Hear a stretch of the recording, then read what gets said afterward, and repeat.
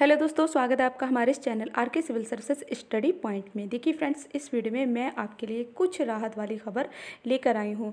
जैसा कि सभी जो एल ग्रेड के अभ्यर्थी हैं एल ग्रेड एसएसटी और हिंदी वाले काफ़ी परेशान हैं, ज्वाइनिंग को लेकर और पोर्टल ना खुलने की वजह से।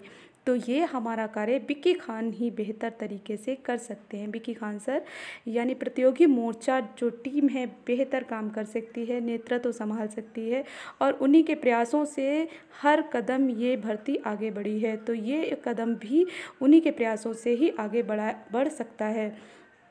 तो उन्हीं से हम लोग सहयोग मांग रहे थे। उन्हीं से सहयोग मांगने के संबंध में मैंने कल भी एक रिक्वेस्ट की थी। देख सकते हैं आप लोग। तो ये बिक्की खान सर को कल आप लोगों का मैसेज मैंने फॉरवर्ड किया था और देखिए, अपनी तरफ़ से भी ये मैसेज किया था और सर की तरफ़ से मतलब सीन भी हुआ और रिप्लाई भी हुआ, यानी कि सर जो हैं, लगातार इस बात को समझ रहे हैं। इसका मतलब है कि प्रतियोगी मोर्चा टीम ही हमारे इस कार्य को आगे बढ़ा सकती है। पोर्टल खोलने के संबंध में बिक्की सर बहुत बेहतर तरीके से कार्य कर सकते हैं। वही एक हैं जिनके मतलब जिसके लिए हम लोग, जिनसे हम उम्मीद लगाए बैठे हैं।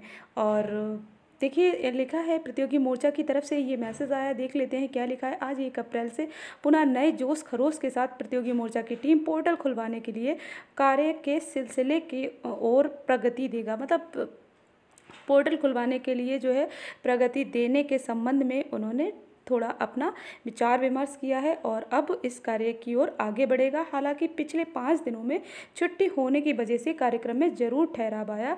अनगिनत मैसेज, अनगिनत कॉल आए। अधिकतर मित्रों से बात नहीं हुई, क्योंकि सभी मित्रों से बात करना संभव नहीं है। अपने प्रश्नों को व्हाट्सएप मैसेज के द्वारा पूछ सकते हैं। समय मिलते ही जवाब दे दिया जाएगा। दूसरी तरफ़ प्रतियोगी मोर्चा की टीम के द्वारा शिक्षा निदेशालय Prayagraj Hindi social science portal पर वार्ता, यानी कि अब जो है इस पर वार्ता होगी, यानी अब उम्मीद है हम सफल होंगे।